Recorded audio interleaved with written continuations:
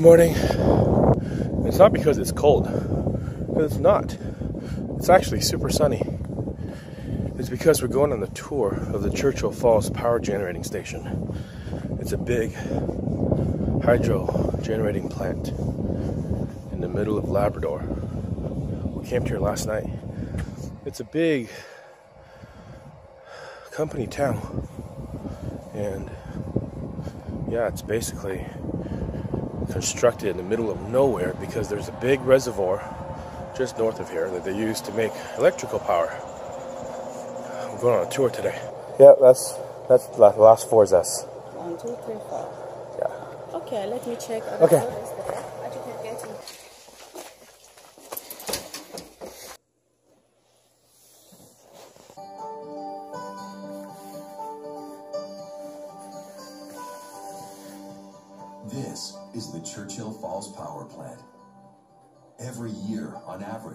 produces 34 billion kilowatt hours of energy. That's enough to run 10,000 North American homes for 365 years without pause. Looking good, Ava. You should get a job here. My hand is very small. So small. About the company. 200 kilometers from here to Montagnais, Quebec. And from Montagnais, Quebec to Quebec Power Grid. And from there to the eastern of United States, where you have New York and all the other states there.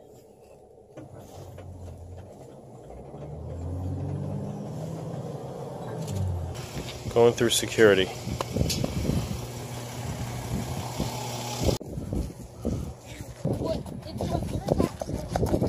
has the capacity to generate 7.5 million horsepower and makes it the world number one underground station in horsepower.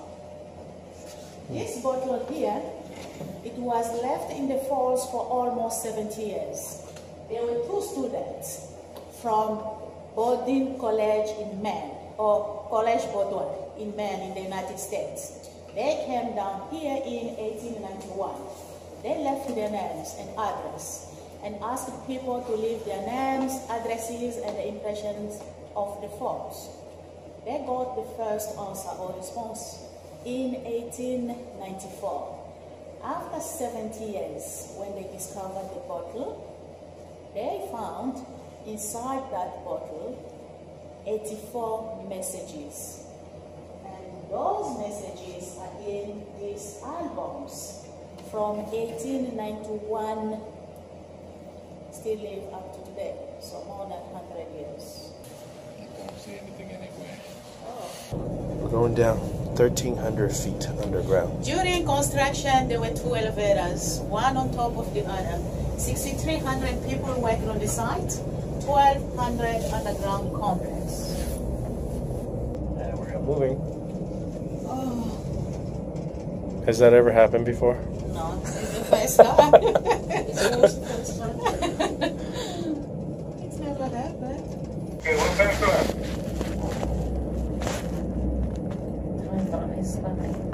There's a technician here, hooked up.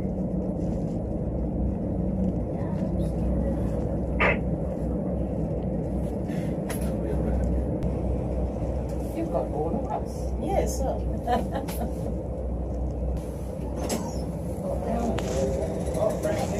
yes, we're supposed to go down. Yeah, and we're having catch some up. elevator trouble. Francie. All right, everybody else. So, what to do? Uh, I get off, I'm gonna ride the elevator down and uh, Bill's gonna call me from down. Just, let's check it in for a few minutes here.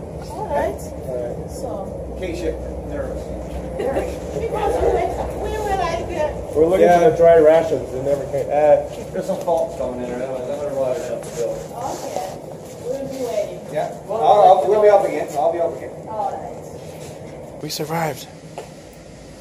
We survived the elevator. I know. Well, that happens at the Tower of Terror elevator. It always breaks when you go on it. Oh, But then people keep going on it. yeah, what's wrong with them? We didn't get to take a tour, Ava. Ah, thumbs down. We got stuck in a broken elevator. That was pretty exciting. Yep. Were you scared? Uh, a little bit. Yeah. Were you scared, Ayla? Sorta. What would you have done if we really got stuck there? I would probably be repeatedly pressing the alarm button and the call button trying to get help. And what if you pressed it so much you broke that? Then I would probably be crying in a corner. It would have remained calm. Yeah. Don't tell anybody you're gonna cry, even if you do. I got to wear I know hard how to hats. twist wires. Yeah. Yeah, you got to wear a hard hat and safety goggles and an orange vest. Safety goggles, I think. I wear. Here's a satellite phone that you get to take with you when you travel to Trans Labrador. If they have inventory. I don't know how many they have, but they had one. We didn't have to use it yet, and we probably won't have to use it.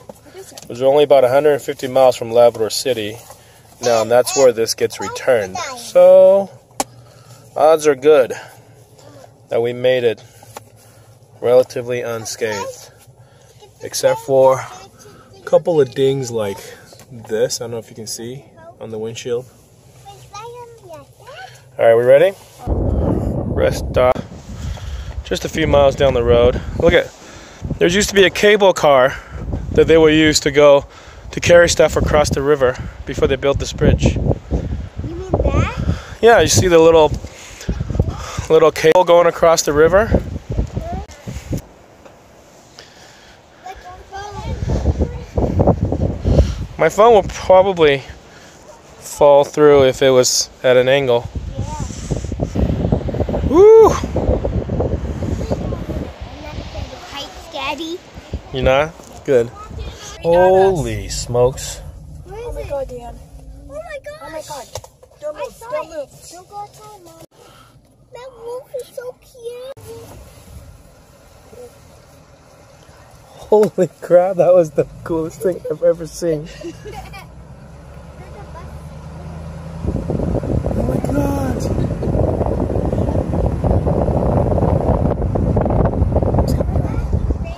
Coming back. Where is he? He's back there.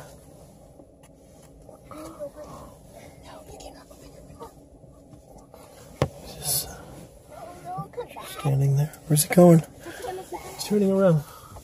Want me to turn around? No, he's going on this side. I think he's looking for food. We shouldn't feed him. No, Dan. Where is he? We definitely should not feed him.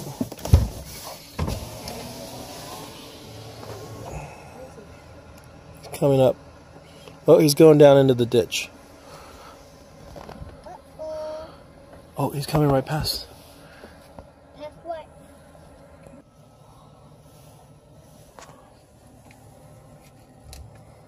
So maybe he's waiting for us to come out. He's gonna eat us? So he, yeah, he wants to. How amazing. Or is it going to us?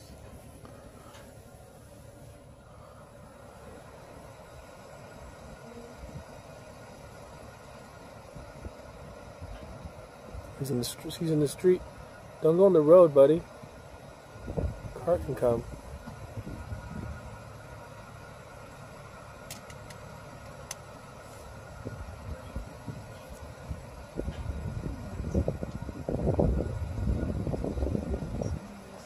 He's leaving.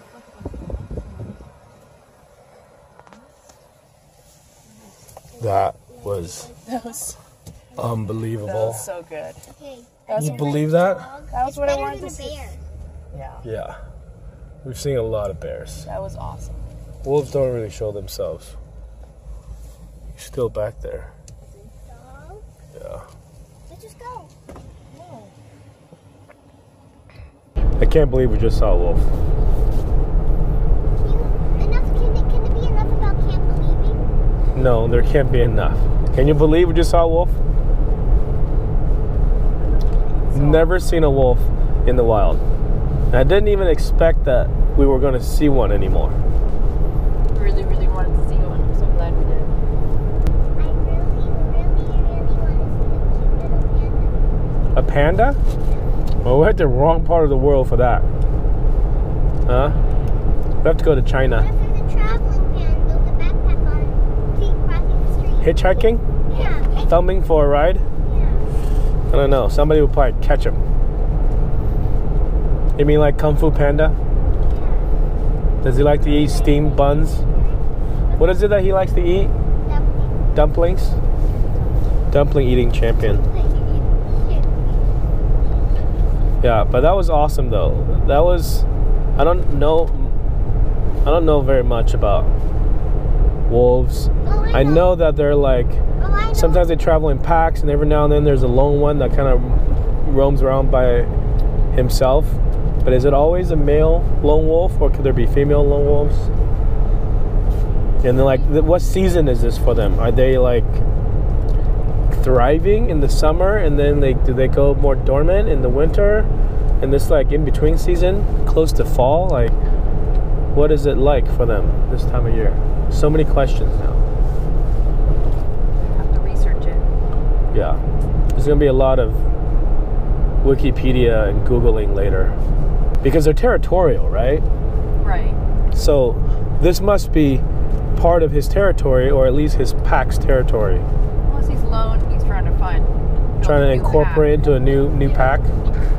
Yeah, yeah. It's that's why when you look at that wild wolf, not in captivity, this wild animal out in its element, and it's like there's so many questions about what this animal's life is like. You know, in a zoo, it's like ah, somebody throws in like a pork chop every every other day, or and then like a bunch of vegetables boiled in a bunch of rice.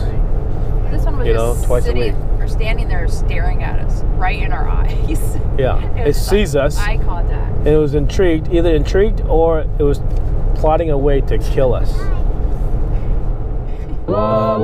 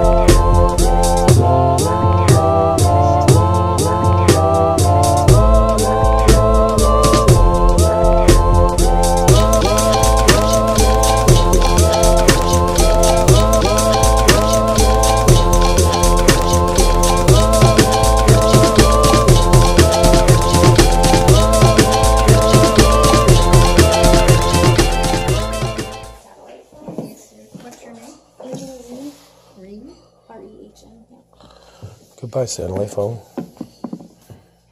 Well, here's the instructions. That's some kind of magical rainbow. We made it past Labrador City. Officially, we're just a few kilometers away from the end of the Trans Labrador Highway. Just past Labrador City to the west. We pulled into this place called Duley Park, which is maybe 10 minutes west and it's just this big piece of property next to a lake. I'm guessing that's Duley lake. We uh, didn't really know exactly where to overnight and we wanted to be out of the town somewhere where there's not a lot of light pollution. Look at that rainbow. Look at that. It's pretty awesome because the sun is still kind of out back there and then it's raining.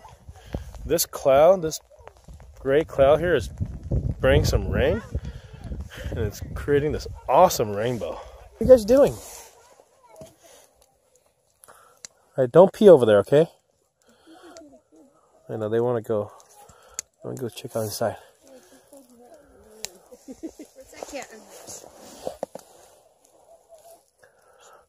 Yoda's gonna pee everywhere. Your ears are they're white. Flappy oh. ears. Flappy ear. Husky. so white. Lab something. La la la la la.